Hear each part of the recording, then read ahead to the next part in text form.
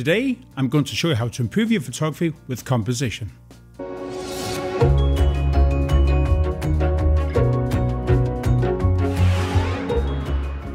Today, I'm going to show you how to improve your photography with composition, so keep watching until the end to get all the tips and advice. Hi there, welcome back to my channel. My name is Brendan Diver, and if this is your first time here, I'll be giving free tips and advice on photography each week.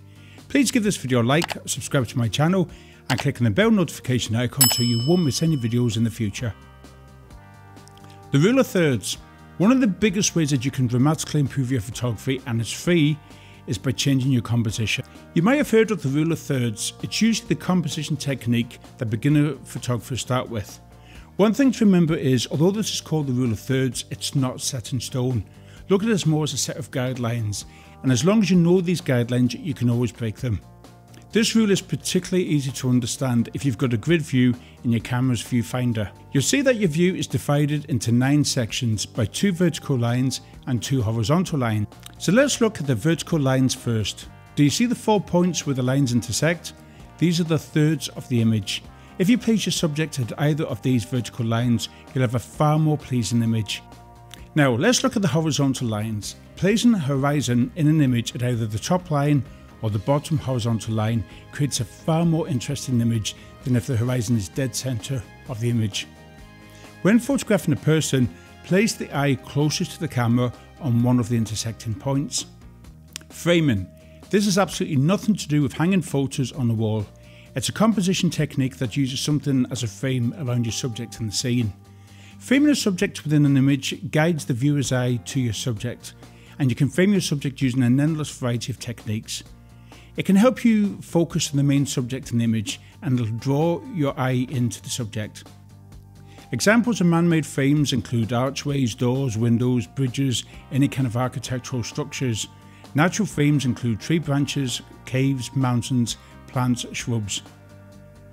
In this image of a Celtic Irish warrior, you can see how I used the old doorway to the ruins of a stone fort to frame the subject and it draws your eye in on the subject himself. Leading lines. This is another photography composition technique for beginners and because it's easy to pick up and once learned you'll never unsee leading lines. This is the equivalent of placing a you are here arrow on a map. Leading lines in composition do what they say in the tin. They are lines that lead the viewer's eye to the subject, the main focus of the image. Leading lines can also be used to direct a viewer's eye out of an image. In fact, leading lines will direct the eye to wherever you want it to go because our eyes always follow lines. Like frames, leading lines can naturally occur in such as a row of clouds, rivers and a line of trees. They can also be man-made, for example by railway tracks, roads and converging buildings. When photographing people, leading lines can be created by your subject's limb placement, such as arms and legs, and they can lead the viewer's eye to the subject's face. Leading lines don't even have to be straight. Think of a winding country lane or a river leading to the focal point of your image. Here in this image, we have the use of the leading line of the road combined with the bright colours of the two young children. Remember, you don't always have to have your subject looking at the camera. In fact, every photo shoot that I do for a client, I always take several images of the subjects not looking at the camera. And usually from the photo session, these are the client's favourite images. So experiment and just remember you don't have to have your subjects looking at the camera. Negative space. Leaving space around your subject gives a breathing room within the frame. Using negative space is an easy way to create beautiful minimalistic photographs that hold a dramatic impact. Having large spans of empty space can really draw the viewer in. The human eye is designed to see reality in 3D through our two eyes. But the camera on the other hand is manufactured differently. As you all know, a camera sees in 2D through a single lens. This is why there's often a difference between the way that you, see a composition and the way that the camera perceives it. It's for this reason that negative space is so important. It allows us to truly consider our composition and how the camera will see it. Never be in a rush taking images. Slow down, pause for a while and look at your surroundings. By doing this and not rushing, you will see far more opportunities for getting different compositions of the scene in front of you, and it might actually surprise you with what you'll actually capture. Negative space surrounding your main subject can portray a sense of scale and size to the viewer. This can be useful if you're a landscape photographer, as shooting subjects close up can take away from the feel of the location from the audience. Stepping back from the edge of your shots can often have more impact to the image than if you were right in the middle of the action. The further back you are from your subject, the smaller they'll appear, achieving a greater atmosphere with a completely different feeling. This works really well when you're standing next to large structures and buildings, and you'll also see instances where hikers are stood atop of a mountain with a whole big panorama around them. Viewpoint. Changing your position and therefore your viewpoint can dramatically change the image.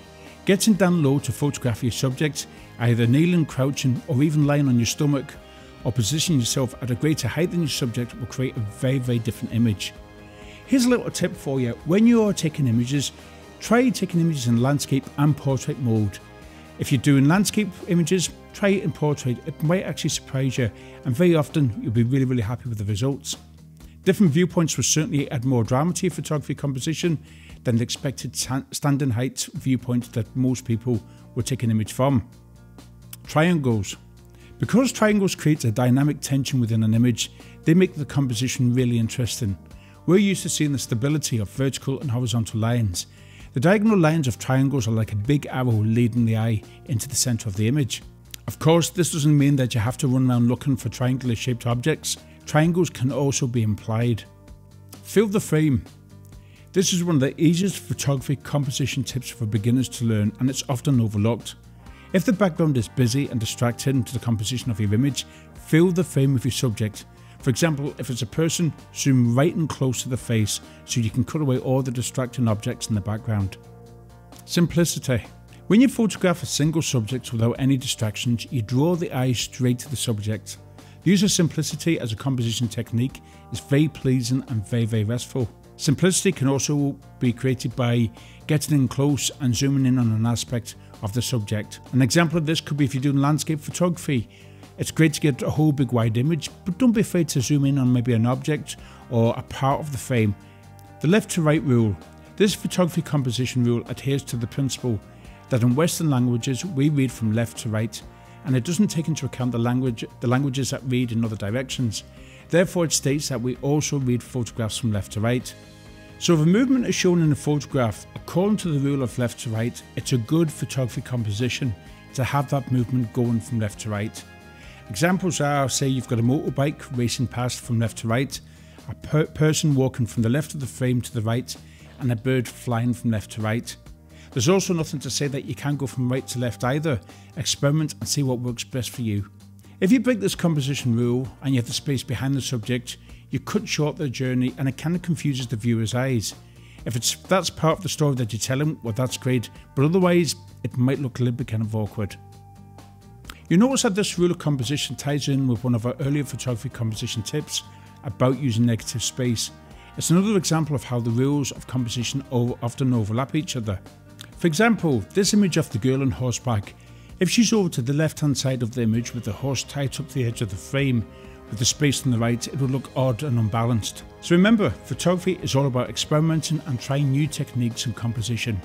As I say, these are called the rules of third, but the, these are only guidelines, so don't be afraid to break them.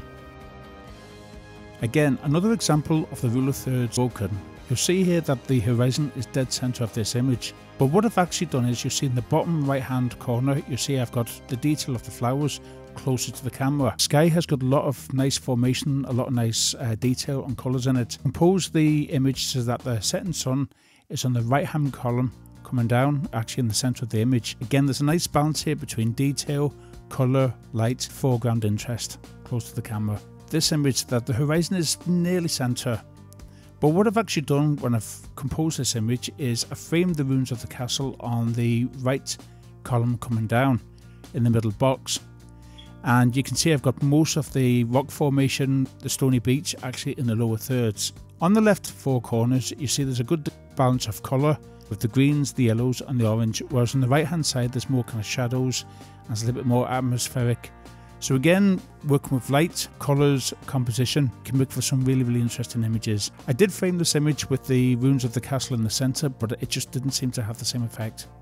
Another image of the Northern Lights taken here in Donegal. You see that I got the horizon level with the bottom row. So there's one third of the foreground showing and the upper two thirds is taken with the sky. You see that there's a lot of interest and detail in the foreground and this draws your eye into the image. You see on the left hand column coming down, you can see the detail in the rocks and on the right hand side it would be a different type of uh, rock formation. So again, we've got uh, on the very very top row we've got more of the reds and, and the purples. Middle row we've got more yellows and greens, and the bottom row we've got more kind of rock formation. If you think of your rule of thirds as like a cake and different slices or a sandwich, you can see that this is actually a bit like a cake or sandwich the way that the different layers have built up the image. As I said earlier in the video, the rule of thirds I always looked at as a set of guidelines and not actually rules, they're not set in stone. Now you'll see here that I've got the horizon dead center of this image. Usually this doesn't work, but if you notice the fencing post, I have that on the intersecting lines on the third column coming down, with two thirds on the right hand side. So by actually having the horizon in the center, but the fencing post offset, this can actually create a far more interesting effect so experiment away. Um, there's no right or wrong rules in this. It's just whatever looks best for yourself. You see on the very very top, you'll see where I've got most of the detail in the cloud. That's actually in the center box. And on the same column at the very very bottom, see where I've got kind of the, the twigs, kind of the, the heather there. You'll see that's a little bit more detail in the center box. And I've also got the old lane on the left hand side. So again, the horizon's in the centre, but it works very well. You'll see this image of the Northern Lights taken here in Donegal. You see they've got the horizon placed in the lower third row, with the upper two thirds of the image being taken by the sky. You'll see on the bottom right hand corner long exposure photography, and I've actually placed this composition where I'm actually on the intersecting lines. I think it just gives a nice little bit of interest. So this is something you can try by moving your focus into different parts of the image. This is an image I took of the Northern Lights here in Donegal several years ago. You see that I've got the horizon placed in the lower third of the image. I could have placed the ruins of this castle in the centre, but I thought personally that it would be better to be on the intersecting lines on the right hand side. You see the derelict buildings with the red door on the right hand column, and on the left hand side it's a little bit not as much information. Two thirds of the sky is above the horizon, and the lower third is the foreground. If you notice where the ruins of the castle is, it's on that intersecting line and I've got the buildings on the right hand side. So it's a nice balance in this image and it works very very well. It's a good example of the rule of thirds. You can see this image, I have composed it in such a way that the fencing post is in the centre of the frame. The horizon, I've placed that in the top third, with the foreground taking up the lower two thirds. On the left hand side you can see parts of the hill and on the right hand side on that column you can see some of the rock and shrubs as well. So this is a good example of the rule of thirds coming into play with centre focus on the fencing post. You will see in this image I have composed the frame so that the horizon is in the centre of the image. I have the setting sun in the centre box and on the right of the setting sun you'll see that I've got a bale of hay to add a little bit of interest.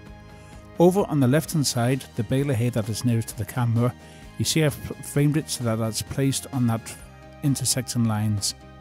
On the top left hand corner there's a little bit of detail where I've got the tree and on the two right boxes on the top row on the right you'll see where you've got the detail in the sky.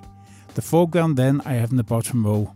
So although that's the horizon is actually in the centre of this image, it still works quite well with the way that I've composed it and framed the objects.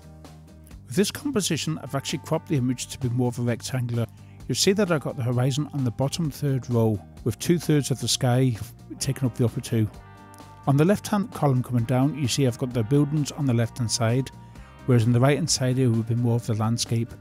Again, this is a nice composition that looks really, really well. Um, there's a nice balance between detail and of the actual landscape itself. You see how I've made use of the colours and textures so if you enjoyed this video, please subscribe to my channel for more videos in the future. And if there's a topic that you'd like me to make a video on, please let me know in the comments below and I'll try and get that video made for you. See you again.